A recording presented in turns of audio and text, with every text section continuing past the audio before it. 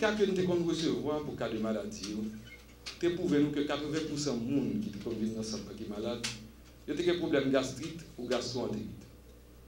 Problème gastrique parce que trois cas de monde ça pour faire économie, ils étaient sortis sans manger.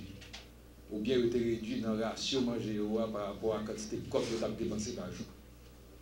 Gastro-entérite, c'est par rapport à conditions hygiéniques que vous mangez.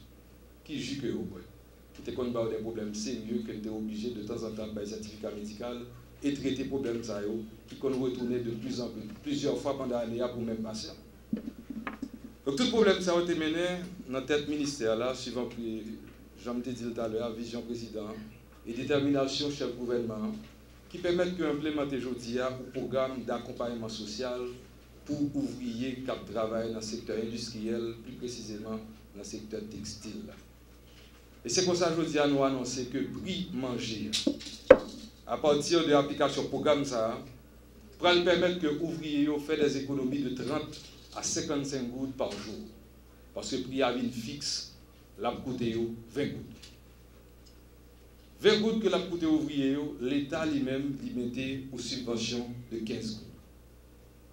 Ça permet que ouvriers qui ont mangé plat qui qui environ 50 gouttes, 60 gouttes, 75 gouttes qui étaient plat idéal là, que dis il n'a pas besoin de dépenser même comme ça pour manger, même manger, qui pourrait le faire dans des meilleures conditions.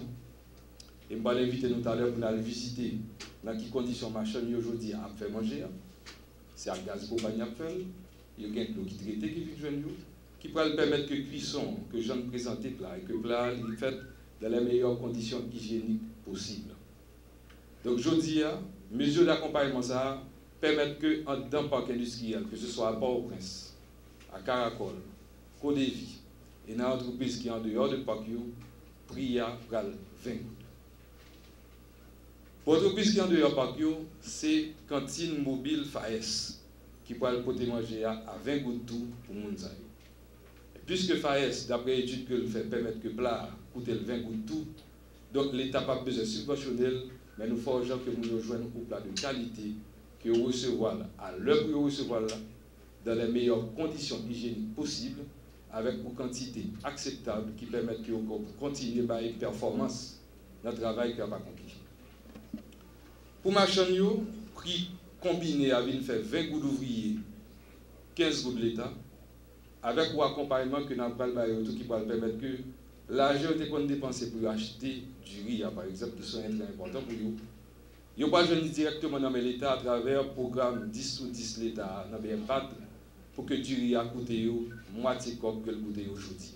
Soit il va mettre là à 17 jours.